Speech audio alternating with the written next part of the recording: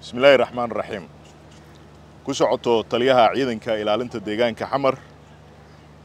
taliyaha qaybta guud ee booliska gobolka banaadir guddoomiyaha degmada xamar weyne og agaasimaha waaxda suuqyada dowladda hoose xamar agaasimaha waaxda jidadka iyo bulaacadaha agaasimaha guud ee nadaafadda iyo bilic soo celinta agaasimaha guud ee howlaha guud garyaqaanka guud ee dowladda hoose xamar xogayaha guud ee maamulka gobolka banaadir iyo dhammaan guddoomiye ku-xigeenada maamulka gobolka banaadir. Guddoomiyaha gobolka banaadir ahna duqa magaalada muqdisho markuu arkay dastuurka jamhuuriyadda federaalk soomaaliya markuu arkay sharciga maamulka gobollada iyo degmooyinka dalka ee namber lix soona baxay labaiyo tobankii bisha labaad ee sanadka kun sagaal boqol siddeetankii markuu arkay sharciga maamulada iyo degmooyinka gobolka banaadir ee namber boqol toban iyo lix soona baxay lixda bish siddeedaad laba kun saddex iyo tobankii markuu arkay xeerka afartan iyo siddeed biis ee soo baxay kowda bish sagaalaad kun sagaal boqol siddeetan iyo kowdii ee habka maamulka iyo qaybinta dhulka gobolka banaadir markuu arkay sharciga namber toban soona baxay toddobiyo tobanka bisha labiyo tobanaad kun sagaal boqol iyo siddeetankii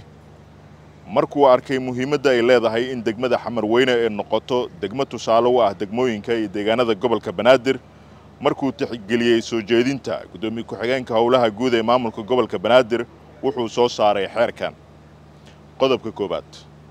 maamulka gobolka banaadir isagoo ka shaqaynaya ammaanka horumarka bulshada iyo bilicda caasimadda muqdisho kana hortegaya cidhiiriga waddooyinka iyo nadaafad darida wuxuu go'aamiyey in degmada xamar weyne ay noqoto degmo tusaale u ah degmooyinka iyo deegaanada gobolka banaadir. Qodobka labaad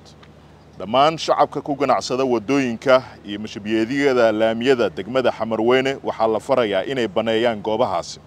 Waxaa la kansalay ama la baabi'iyey dukumentiyada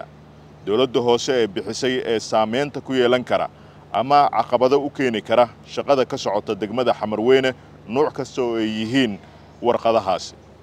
Goobaha dadka laga kiciyey looma adeegsan karo dano ama howlo aan dan guud ahayn shaqadani waxaa loo fulinayaa si waafaqsan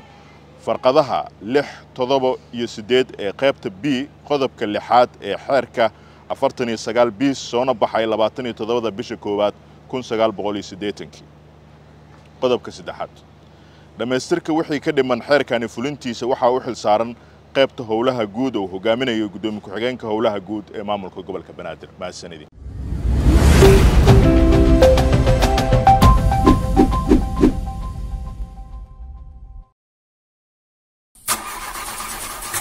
ashidanti. Gaarigan ayaa cimrigayga ila qaybsaday. Cilladiisuna way igu sono noqotaa alla ilahi aan makaanig wacd